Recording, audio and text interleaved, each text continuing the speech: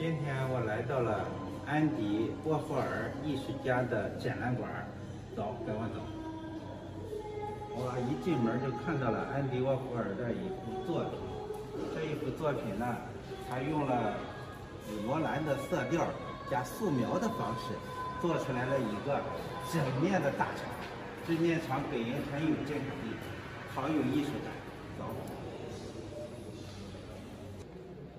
这是安迪沃霍尔呢，是最近的一幅作品，他展现了一个他喜欢的女人，正在用眼睛看着他。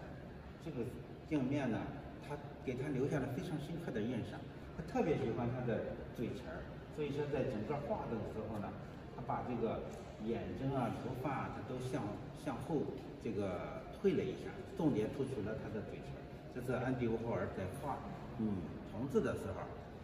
最经典的一个笔法，他的嘴唇画的很赞。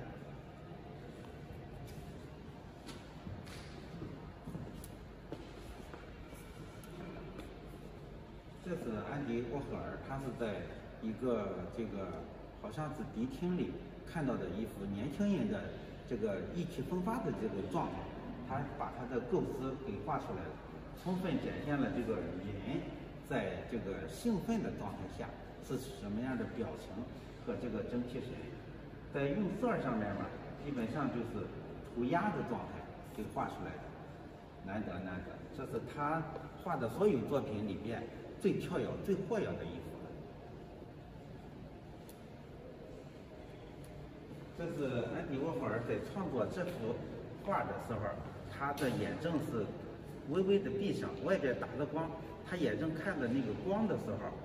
眼正这个眼正这个虹膜里出现的一种一种像，这种像呢被他回忆起来以后重新画出来，所以说你会看到有一个红红的红红的一个朦胧感，这个呢就是眼正当在看着灯光在产生想象的时候，脑子里浮现出来的一幅图，然后他把它给变成了一个画，所以说这个要想着画好画，脑子里必须产生一种意境，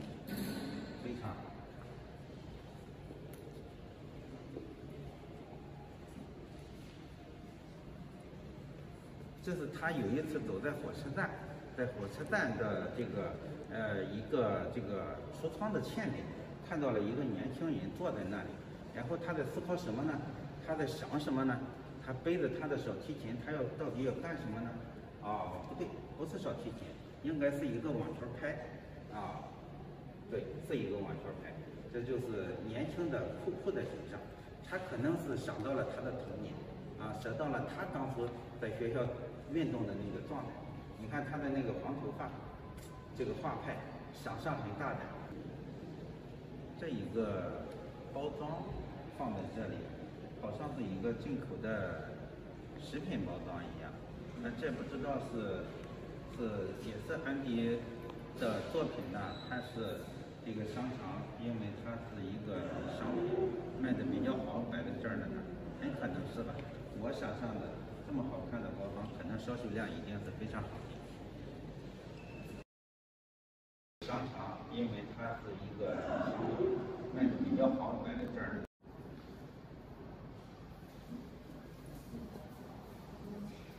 在商业公司所创造点餐的方式，而这个博尔它是没有，它直接是用了带有水印的那个方法，它能在这么一张平整